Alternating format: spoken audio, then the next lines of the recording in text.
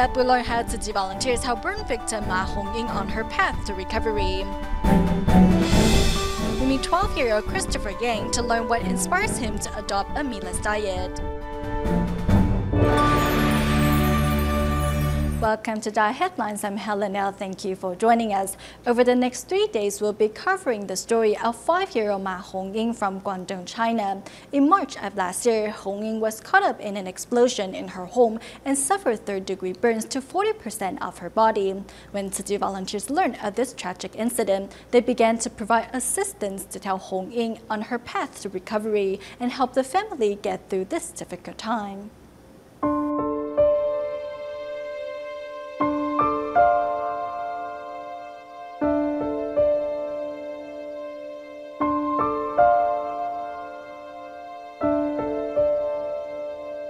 Her father didn't have to work overtime that day. He brought gas home with him. I smelled it and had warned him about it. I heard a loud bang, and the next thing I knew was the balcony had caught fire. We were cooking food in the kitchen as well at the time, so I quickly ran to turn the gas stove off. Then I heard my daughter scream, Dad, help me!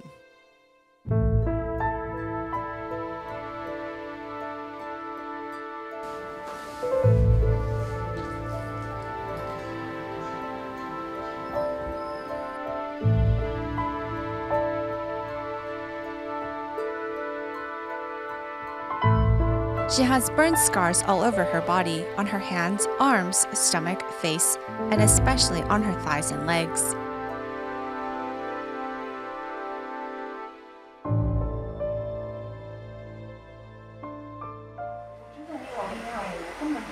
When Tzu Chi volunteers in Guangdong learned of the accident, they immediately formed a team to care for the family and offered to subsidize Hong Ying's medical costs.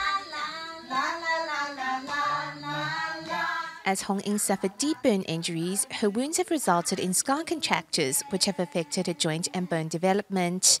Today, she will be undergoing her second surgery.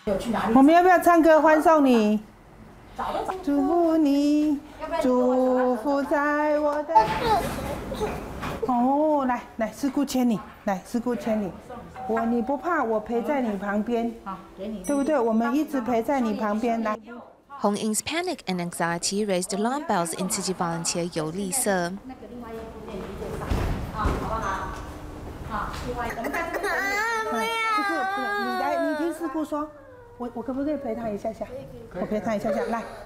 Still reeling from the accident and dealing with her physical pain has caused Hong Ying to become easily restless and agitated. Merely administering anesthesia prior to the surgery became a long battle between her and the nurses. 好不好？把手机给他。红英好棒啊！来，你不看？不看。好，你看，看，那你要看，你看，你看，那你看，你看。先打了针才能睡着。你现在不打？你现在睡着了朝哪里打？你没有那个针怎么能睡着？你说。我睡着再打嘛。In the moment, Hong Ying's mother, Li Tingyan, feels nothing but helplessness. Li intentionally kept her distance so that her daughter would not turn to her too much and thus delay the surgery.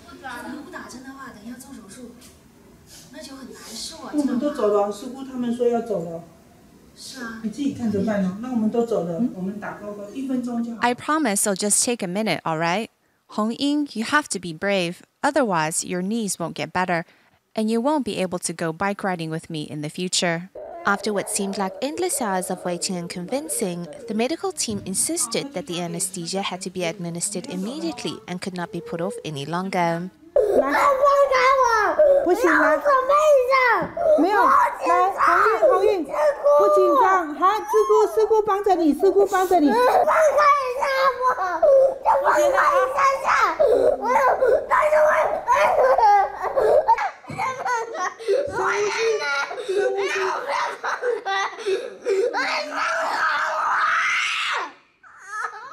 来，我开始了，深呼吸，深呼吸，深呼吸，一、二、三、四、五、六、七。The young girl's desperate screams and cries tore at everyone's hearts.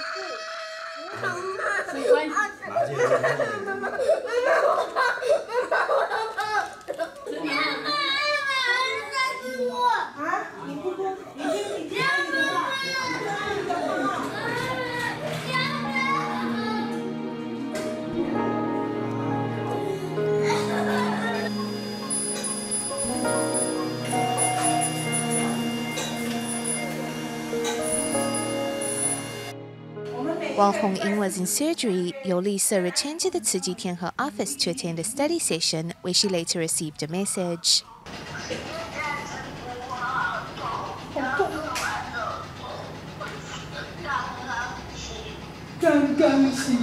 This is when she needs our support the most. Let us give her our encouragement.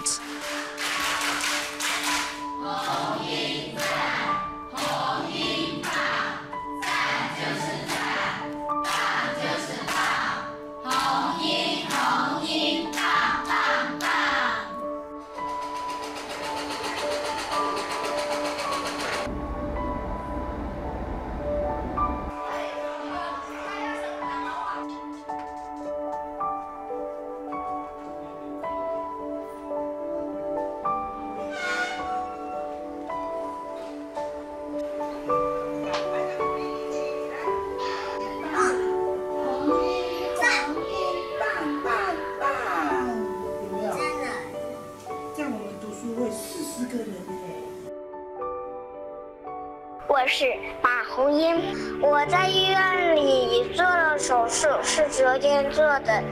这包着纱布也很痛？嗯我很乖。Continuing her tour around Taiwan, the founder of the Tzu Foundation, Master Cheng Yen, arrived in Taichung. While there, she held a talk with local Tzu volunteers as well as volunteers in training and encouraged everyone to persevere in working in the interest of the public, even in the face of adversity. Wang Hongjun, who was diagnosed with leukemia nine years ago, once thought his life had come to a dead end. Fortunately, he found a bone marrow transplant match through the Buddhist Tzu Stem Cell Center. This time, he brought his two-month-old son to see Master Cheng Yen. 感恩 I never thought I could extend someone's life, which then had another life. Master Cheng Yen listened to the sharing of volunteers in training, while volunteers in training from Yunlin, Chiayi, and Tainan watched the talk through a video conference from Hualien. I used to daydream about making more money and getting a bigger house. Now I feel a bit guilty just seeing a lot of food in my lunchbox. Among the volunteers in training are 16 staff members from Taichung Tzu Chi Hospital. Their willingness to carry out the missions was impressive.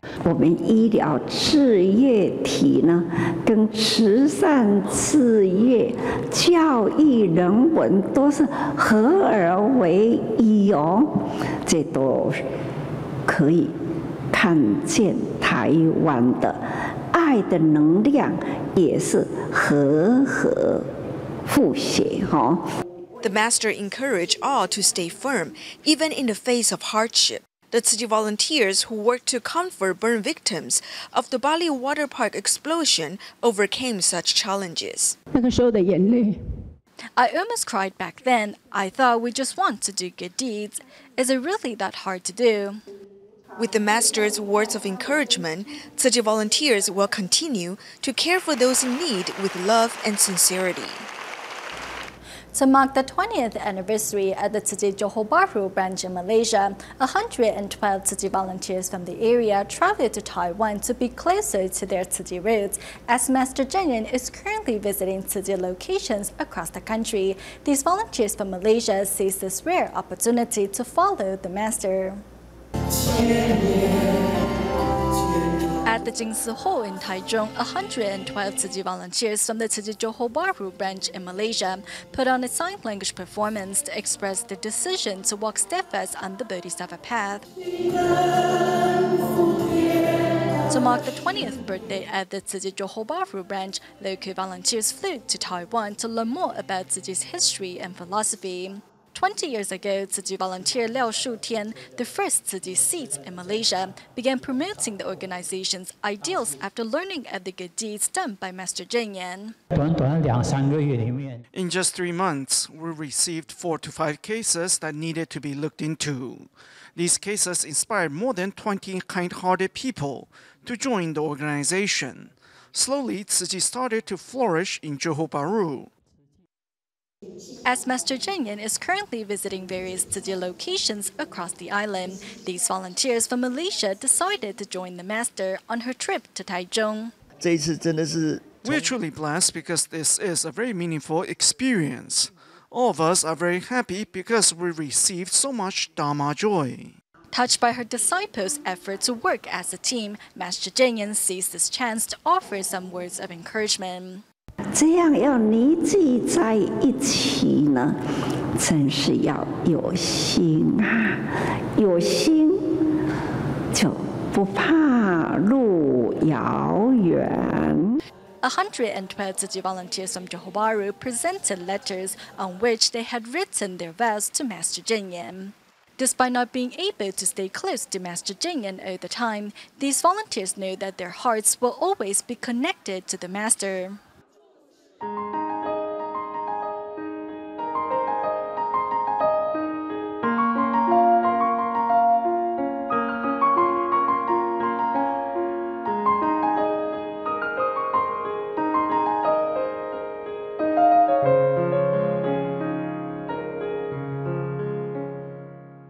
weekly series on young vegetarians, today we traveled to the United States to meet 12-year-old Christopher Yang. When Yang was four years old, he saw a live fish killed at a supermarket was devastated by the scene. Later, the young boy decided to go vegetarian as a way to safeguard our sentient beings. My name is Christopher Yang. I'm now 12 years old and I'm going into 8th grade.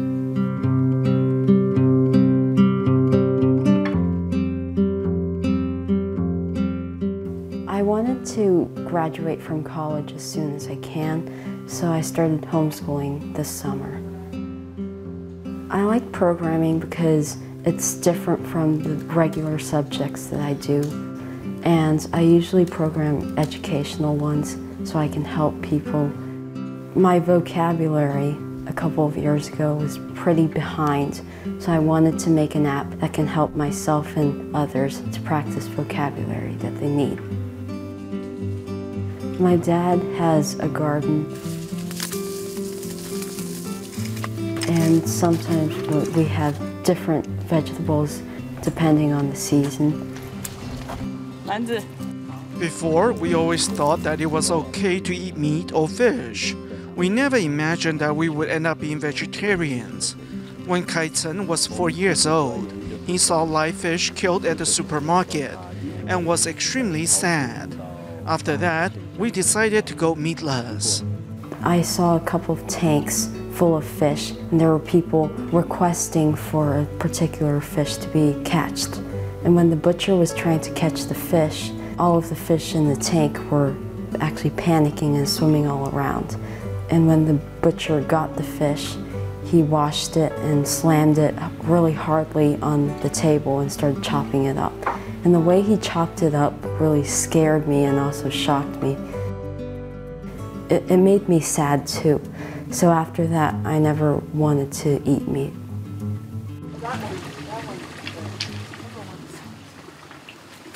At first, we just followed what my son wants. you get out of the uh, red ones out here. I thought that my son would return to his normal diet after a while. However, surprisingly, he was determined to continue being a vegetarian. I think that being a vegetarian is something that can help the world. Vegetarian is more of a mission than a diet because I know many people who uh, respect animals' lives because they have animals themselves. It's kind of hard to cook a vegetarian dish while also cooking a meat dish because it's also more work for my mom. So our whole family decided to just become vegetarian. I like vegetarian dishes in general because it doesn't have the smell of meat and it also doesn't have the texture of animal byproducts. After a while, I realized that going meatless is very good for our bodies. I feel more energetic and don't feel drowsy after eating anymore. Being a vegetarian is it's healthier for me. I feel a lot better. I think going vegetarian has had a positive impact on my family and I. At Shanlin Dai community in Kaohsiung, 197 poor yet deserving students were recently recognized in Tzu Chi's New Shoots Scholarship Award ceremony. Among the recipients was second grader Zheng Chongzhen, who is raised by her grandmother and loves going to school.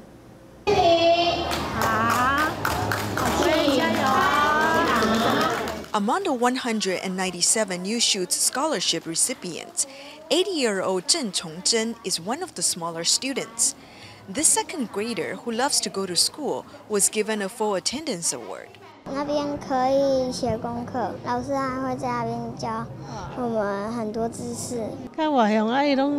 Being outgoing, she likes to play with friends and study.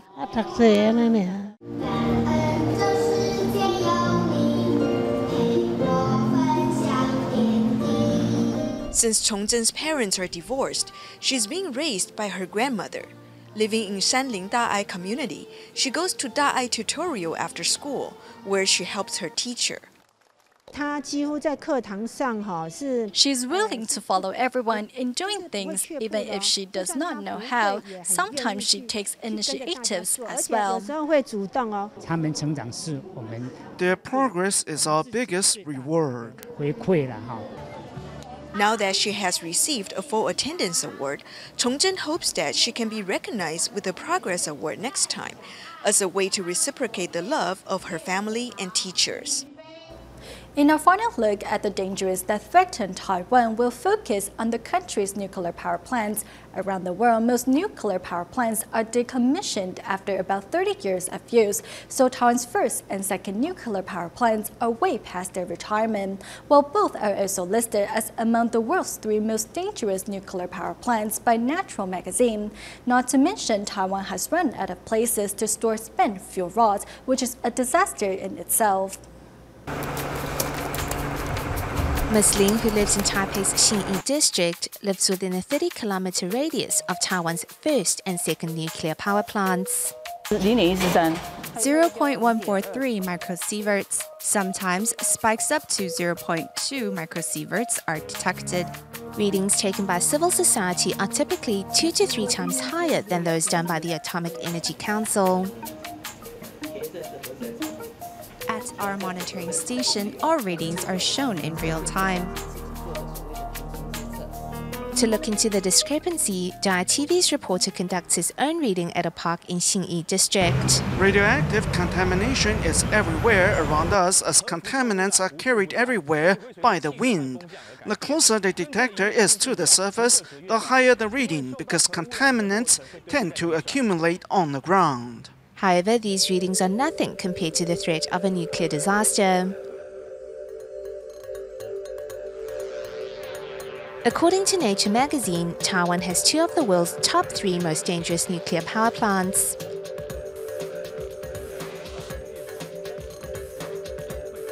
Three years after the Fukushima nuclear disaster, an expert from Taiwan decided to conduct his own investigation.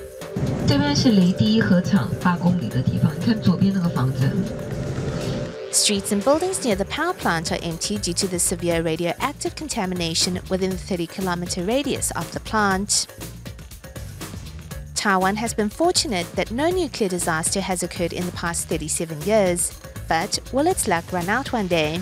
Yes, the Sanjiao fault is close to the first and second nuclear power plants, while the Hengchun fault is next to the third plant. The location of where the plants are built is questionable, while the aging equipment malfunctions frequently. The first nuclear power plant was designed to hold 1,000 spent fuel rods, but the number is quickly approaching 3,000, far exceeding the capacity of the storage pool, which is very dangerous. The plant's number one generator has run out of room to store spent fuel rods and was forced to shut down early. Theoretically, spent fuel rods will need to be put into dry cask storage. However, currently, all of Taiwan's spent fuel rods are placed in storage pools. Just one spent rod is more toxic than 100,000 barrels of low level nuclear waste stored on Orchid Island. Contrary to the common belief, the nuclear waste stored on Taiwan's island is 500,000 times that of the storage facility in Lanyu. Typically, the average lifespan of a nuclear power plant around the world is only 30 years, so Taiwan's first and second nuclear power plants should have retired already. As Generator 1 of the fourth nuclear power plant was completed in 2014 and was about to begin operation, it was sealed due to anti nuclear power protests in the country.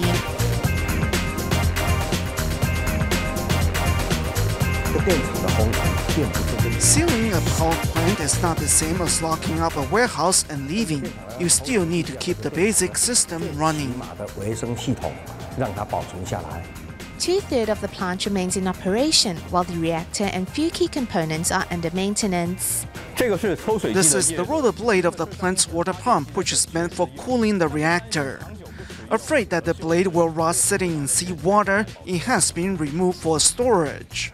The plant, which has cost taxpayers over 9.6 billion US dollars to build, has been at the center of the country's struggle with energy shortages and anti-nuclear protests. Is nuclear power the best choice of energy for humans or poison that will harm future generations for thousands of years? The choice we make today will affect us all tomorrow. Tzu first reached out to those in need in Myanmar in 2008 after the devastation led by Cyclone Nargis in Tian Township. Tzu helped rice farmers by giving them rice seeds for free. Now their livelihoods have improved for these farmers. They make a daily donation to their rice banks so to help other less fortunate people. In Myanmar's Than village, one sees luscious green paddies everywhere.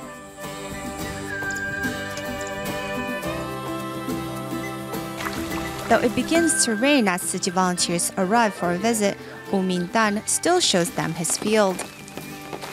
If I hadn't received those free seeds from you, I'd probably still be in debt right now. Without needing to buy seeds, I saved a lot of money that year.